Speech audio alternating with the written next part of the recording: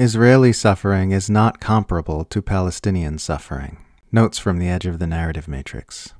The mass media are once again pushing the narrative that Israel is scaling back its operations in Gaza, which, as journalist Sana Saeed noted on Twitter, is a claim they've been falsely making for months. To promote such stories, even as Israel publicly declares that it's preparing for an invasion of Rafah, is absurd and irresponsible.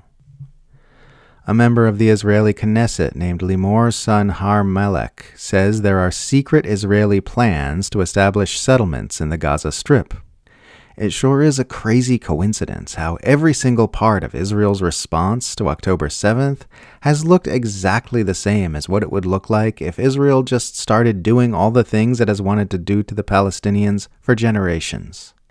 Biden has declared ironclad support for Israel as fears mount that Iran will soon retaliate for the Israeli strike on its consulate building in Syria, which killed multiple Iranian military officials, despite the fact that Iran has made it clear to the White House that if the U.S. comes to Israel's defense, it will make the U.S. a target as well. We could be near the precipice of the worst case nightmare scenario of all possible Middle Eastern conflicts because of this president's unwavering support for the genocidal Zionist state.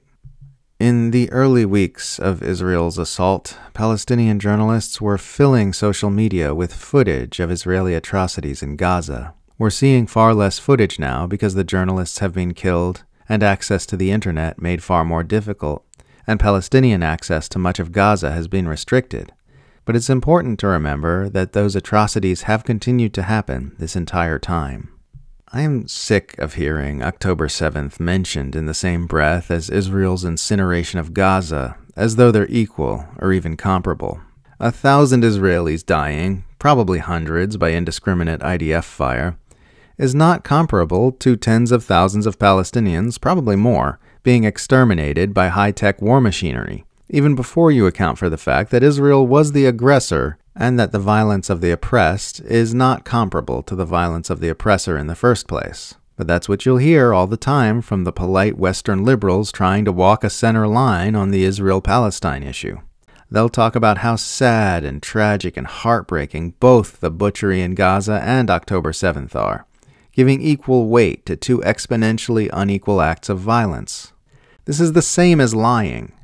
It actively misrepresents what's actually going on, leading to widespread misunderstanding, like the fact that half of Americans have no idea whether more Palestinians or Israelis are being killed in the current quote unquote war.